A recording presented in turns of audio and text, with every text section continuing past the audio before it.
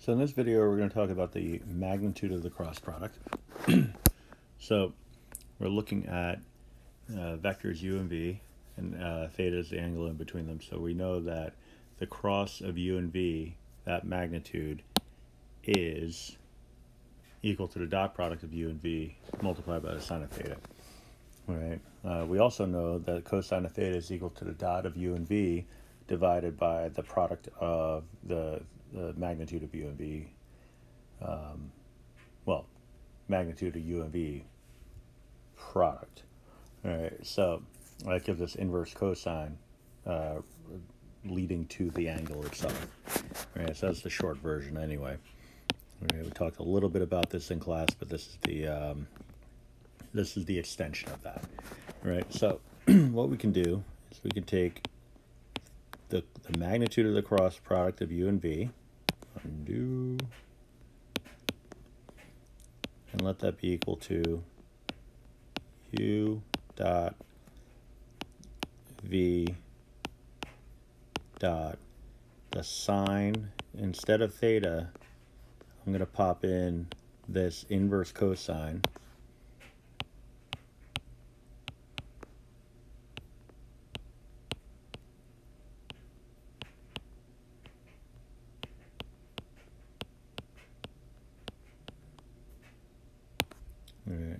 so let me just get the uh, closed parens in there before I forget. And so what we have is an inverse cosine, but then once that once we take that inverse cosine, we can find the sine of that, which would give us um, the ratio itself. So what I can do is go back to good old uh, trigonometry. This is my angle theta. All right. So if that whole thing is my angle theta, then I know that the inf information contained within that expression has to represent a ratio. So I'm going to create a right a poor quality right triangle. Uh, let me try to do that a little better. Eh, can live with it. Can't live with that. All right, so I know that my adjacent my hypotenuse would be theta u dot v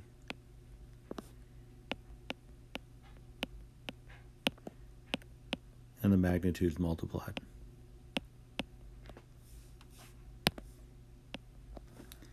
Right. So then if I want to find the sine, I would need that opposite side. So I would use Pythagorean theorem. Now, because u dot v is a scalar and magnitudes themselves are scalars, we can actually label a triangle with this information, which is good news. Otherwise, all bets are off. All right, so it's going to be the product of u, v's magnitude,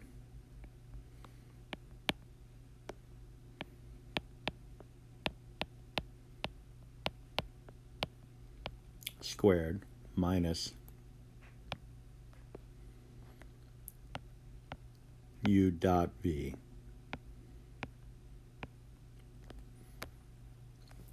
squared. All right, so then we get the sine of theta would be the opposite side. I'm going to use my uh, snipping tool for lack of a better term divided by my hypotenuse, I'll just write that in.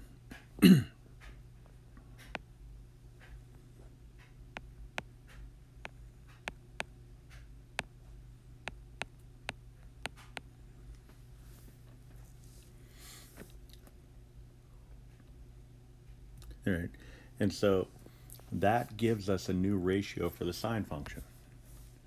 All right, now if we pop this into the magnitude, and again, snipping tool, if I can find it.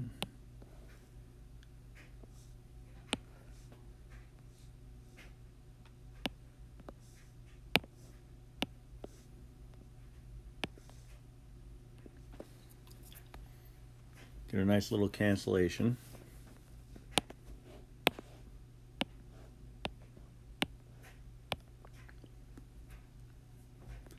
And we get a new relationship. Right, now it's it's a little weird, but it's it's going to play out logically in a sec. All right, so we're going to have the cross of u and v.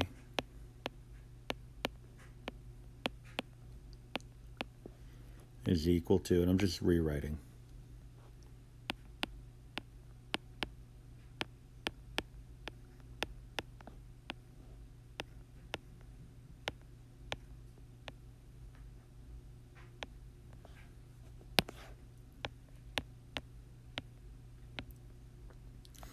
Right. So based on the properties that we know, I can write this, well, I don't want to just limit it to vector properties. We, we know properties of just basic mathematics. We can write this as u squared v squared magnitudes minus u dot v squared.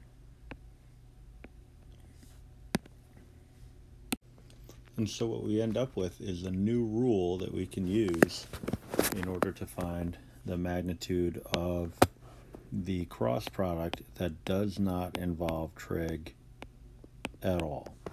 All right, so the magnitude of the cross product of u and v would be equal to the square root of u squared, magnitude u squared, magnitude of v squared multiplied minus the dot of u and v squared. All right. Now, if we clean this up, well, I don't know about cleaning it up, but if we change the orientation somewhat, we get u cross v's magnitude would be equal to squared would be equal to u squared v squared minus u dot v squared. All right, and if we clean it up or change things around a little bit, you know, we can we can we can get different variations of it. Is really what I'm getting at. So we could get, if I add the dot product of u and v squared to both sides,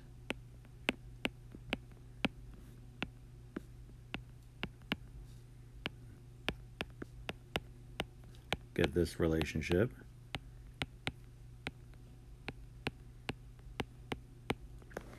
All right, another thing I could do would be to solve for the dot product squared. in which case I would subtract the, the, the magnitude u squared v squared from both sides, but then I'd have to negate, right? So that would actually become my positive.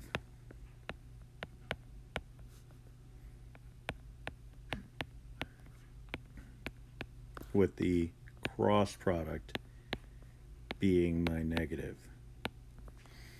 All right. So lots of different variations of this one idea, but it all comes down to this relationship. Well, that's not true. It all comes down to this relationship right back in the beginning u cross v equals u magnitude u times magnitude of v times the sine of theta but using a little bit of trigonometry we can come up with a with a brand new relationship well so using trigonometry to not have to use trigonometry anymore that's what generalization does. All right, so that's the end of this video, and I hope you enjoyed.